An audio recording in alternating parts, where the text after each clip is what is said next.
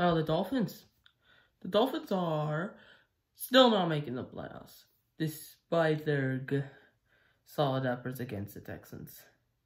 Despite, and about the Texans, let's talk about that, along with the predictions to the Ravens game tonight.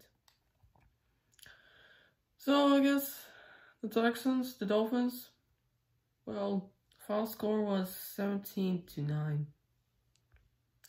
Which you might think that was a great defensive battle, but in the end, and overall, in the end, it was just a poor offensive performance by both teams. There are nine turnovers in total. Five of them were Miami's turnovers, and four of them were the Texans' turnovers. And about the Texans, I don't think I need to say anything else about them. Bad play calling, bad, okay wide receiver corps at best. Terrible offensive line. I mean, Tyrod Taylor, it looks like he's being forced to throw the ball, which I think that's why he threw three picks. And the fact that Miami is doing blitz defenses over and over again.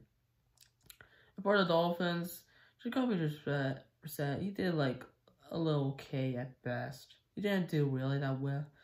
He didn't really do that bad, but he didn't do really that good. He did throw two picks. And I think that O-line has to do something with it, but at the same time, Jacoby Brissett is not like the best could be like Tua is out for the Texans and Brissett he did well and passable to get the Dolphins on top with a touch with a touchdown to give them points.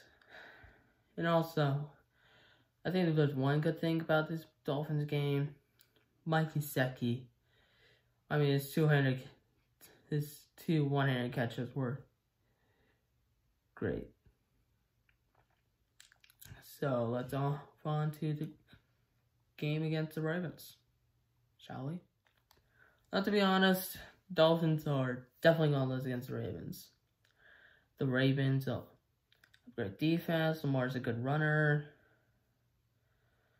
I mean, and Harbaugh's a great coach against that, you're going to lose if you're the Dolphins, no matter what.